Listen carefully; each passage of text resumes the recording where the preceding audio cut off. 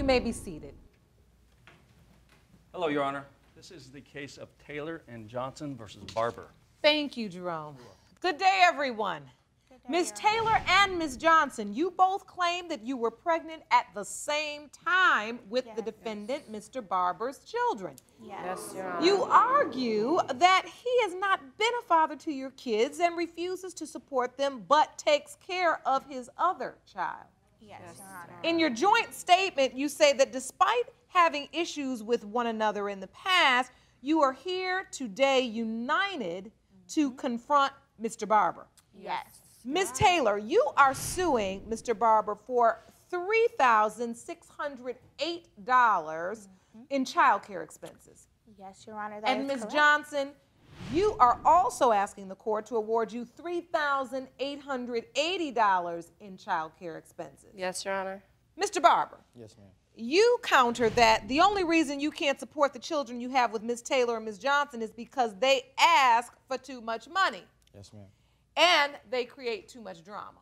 Yes, ma'am. So, that's quite a defense. Now, Ms. Taylor, Yes, Your Honor. why do you believe he supports his other child and not yours? I believe that he supports his other child because he's still sleeping with his other child's mother. No, we're not. He had three women pregnant at the same time. He is a dog. He doesn't do mm. anything for my child. That's I not have true, to Your take Honor. care of my child That is by not true, myself. Your Honor. Excuse me, I'm That is not talking. true, Your I am talking. You do not That is not interrupt true, me Your when Honor. I'm talking. Okay, Shut let's- your mouth let's right settle now down. and Uh, let me talk. Miss Now, wait. Taylor. I'll handle Mr. Barber. You just talk to me. Now, finish your story. I've been having to take care of my child on my own for the last five years. He does not do anything for her. He only wants to deal with women that he can control. He's crazy. He's lost his mind. He only deal with a woman that's gonna take his crap because he's sleeping with them. Exactly. He won't take mine. He says I'm too difficult. And I don't feel I'm difficult. She's not difficult. and He I should not someone have to care of our sleep with kids. my child's father just what's for the him problem? to take Yeah, care that's of the me. problem. Like, take care of your Who I sleep woman with has that- to has nothing to do with taking, my with taking care of my sleeping with children. anybody has to do with taking It care has of your nothing to It do does with because my it shows child. how you At So, all. Let treat your your Mr. children. Barber, You're let's sleeping get with some order. Let's get some order. What we aren't gonna do is talk at the same time. There we Mr. go. Barber, is somebody calling you? Jerome, answer it and see if it's a woman. We already know it is. They probably never call back again if they find out you're in paternity No, court. no, that's not- Exactly. Cut it off? Probably was. I wouldn't be shocked. So, um, Mr. Barber, you wholeheartedly admit that you are the father of, of all the children. Yes, ma'am. So if I saw the birth certificates, I have signed every single one of them. Ms. Johnson, Yeah, he's on mine. Is he on yours? You don't mind. Ms. on Taylor, Oh, okay. Yeah. Cut the umbilical cord and everything. What? Yeah. Did he cut the, for, the umbilical cord for you? Oh, how about you, Cash? oh, you done oh, started oh, something okay. now. For real? Oh, You my cover bad. says I umbilical was, cord? you know that I was there. Now You you, know seem that, like though. you getting Your Honor. emotional. That hurt your There's feelings? no. you know what? Like, I had I had my daughter by myself. My mother's deceased. My family could not get there. He was not there. I called him and told him that I was being induced. He came. He stayed for 24 hours. You know, when you get induced, you never know when the baby's gonna come. I He do. stayed for the first 24 hours and he left. I called him and I said, I'm 10 centimeters, I'm getting ready to push. He didn't come. He didn't come. I had her by myself. I was there. I pushed that baby out by myself. But I didn't show up. I wasn't there. You did I didn't not show up. come I didn't show up. hours I didn't show up. But why? You did why? not come until Why? What did I tell you I was doing? What did I tell you I was doing? What were you doing? What was I don't doing? I was at work. I don't know. You always lie. You always lie and say that you somewhere and you. I don't have to lie to you about where I'm at. There. I can tell this is an emotional subject. And Ms. Taylor, I can see from your face you didn't see it coming once Ms. Johnson said he cut the umbilical cord on her child. Hurt. cut the umbilical cord, but even when I was in labor in the in the delivery room, he was on the phone with her and other women in front of my family. Making Mama, I wasn't with you when we had my child. Uh, I was not with you. Oh no, yes, I was there for my child. together. I couldn't You do said court. Yes, I admit You that I was, I was not a good You wasn't person. sitting there talking with I, me. I admit We that. I'm not to saying that, saying we that I was a perfect person. Yeah, whatever, I'm not saying Barber, that. Mr. Barber, but that's not what we on trial about here. We, I want to see my children. First of all, you're not on trial. You in paternity court. I never know doubted you're- the paternity I know you're upset. at all. But I need you to calm down. Bring it down a couple notches. I know you're upset. My past was not perfect. What I'm saying is, yes, I've done some things, and I'm not perfect. No, that, that I'm, I fall very short of that. But these women know that I love my children, and they know that. You don't for show sure. it. How don't I You show it? I don't just took my baby show out it. two weeks ago. Yeah, because for you you. said What are you I was talking taking about? you to court. No, you know it had nothing to do with that. That's it had nothing to do with Order. that. Let's get some order. Wow, you two. I'm hurt. But I also see how frustrated Mr. Barber is. Now, I see a man who's admitting pretty much I blew it. You got two of your children's mothers standing at the same podium. Something went wrong. Exactly. But when you two go to speak, I took a moment to just observe you. I, I mean, you go to not level 10, level 20 in a matter of two seconds. And there's no understanding, no communication, no compromise, no resolution when you all are going at each other like that. And all I'm sitting and thinking is, I am an adult, judge of this court, used to watching people in dispute. And you all make me uncomfortable watching you yell and scream. I can only imagine what a child would feel like. Because the truth is, we need to come up with a resolution for you all. Because I can't have any children growing up hearing that nonsense every day. If you want more episodes of Paternity Court, make sure to subscribe and click on the notification bell. These women stand before the court today and say that you haven't stepped up to the plate financially. At that time, Your Honor, no, I, I was not. And why was that? Because at Explain that time that I was going me. through a, a lot myself. I was still a kid. We were having kids. I was I, I've been in group homes since I was 12 years old. All I know how to do is take care of myself. So when my kids came, no, I didn't know how to do that for the best, for the better part of my children. And I was doing music. I've been doing music since I was 12 years old. So I continued to do music. I went to school. I got a degree so I could be able to take care of my children right now. One thing my father always told me is if you can't take care of yourself, how are you going to take care of children? And I have three. I don't have one. So I have three, and I had two. At, I had two at one time. Being 18 years old on the street by myself.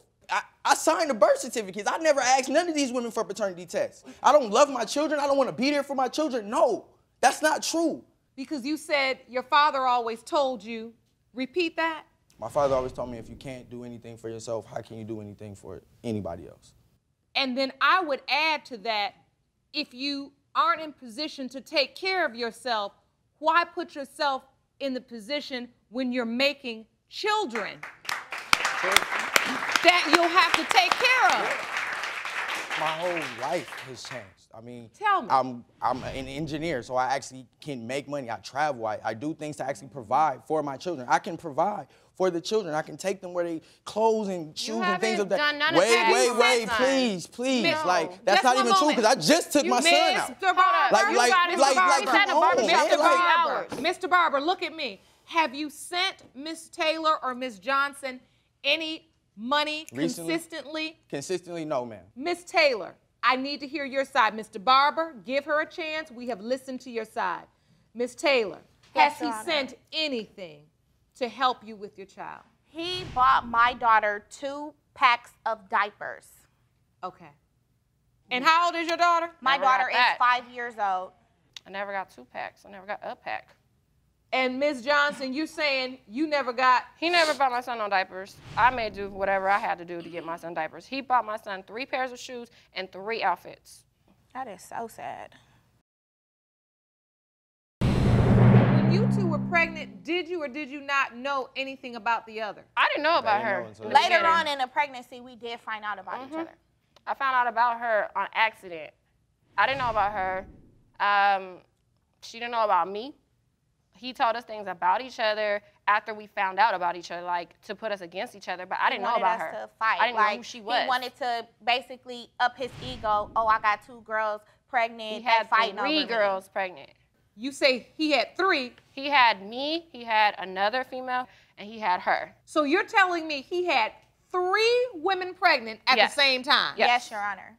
At the very young, tender age of 18, And we were all 18. all the way out. Wow. Let's hear from Ms. Cooper. Ms. Cooper, please stand. Thank you for joining us. What do you have to add? Do you feel like he treats your child differently? Um, no, I don't. I feel like he loves all his kids the same.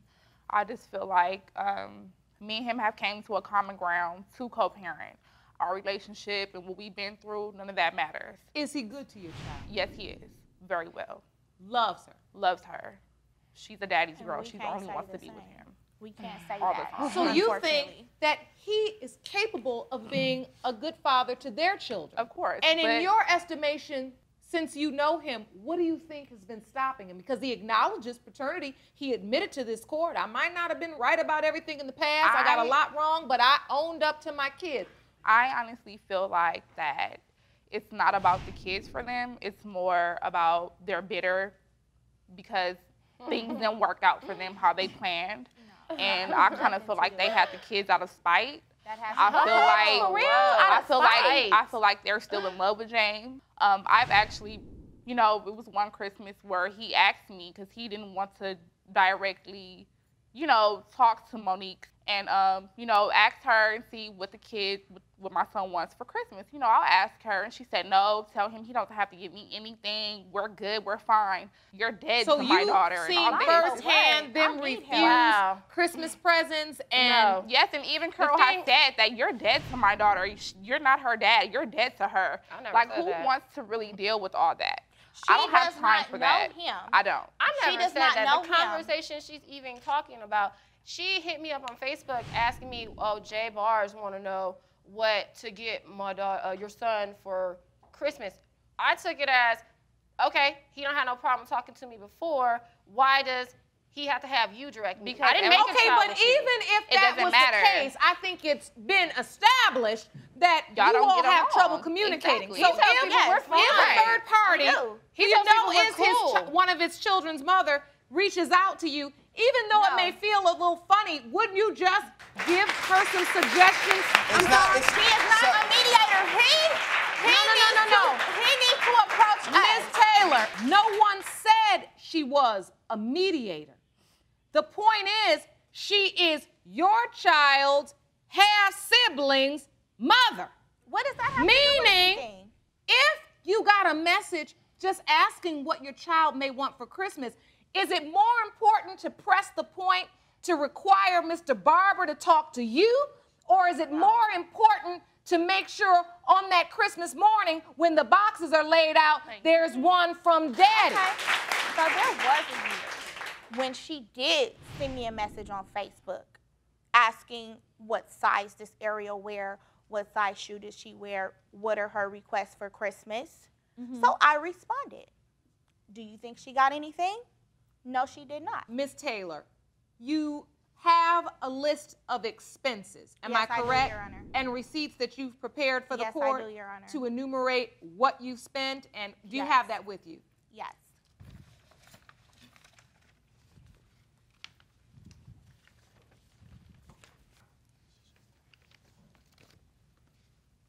This is a ledger and also receipts for child care expenses. Now, these expenses that you have presented, they accurately depict what it takes to raise a child. Now, mm-hmm. Mr. Barber, do you have anything to add before I make my ruling? no, man. you know, it is this court's opinion that Ms. Taylor is in fact entitled to $3,608 in back child care expenses. Moving on, Ms. Johnson, Yes, did you Honor. also bring receipts I bring receipts and information for the and court regarding your claim? Yes, and I also have a text message between me and Mr. Barber where he stood my son up on his fifth birthday. All was Jerome, gift, can you please he did not. hand me Ms. Johnson's information?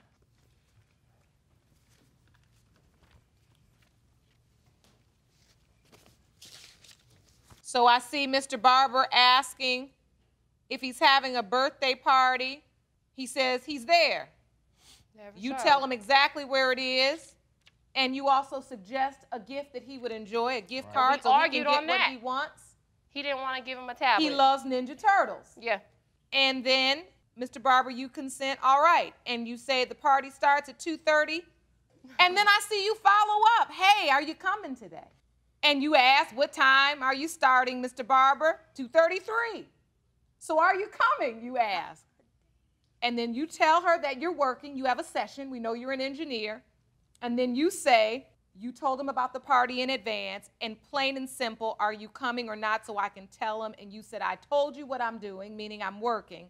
And then your text begins that you are disappointed because you'd already told your son that his dad would be at his And party. that's something that happens all the time.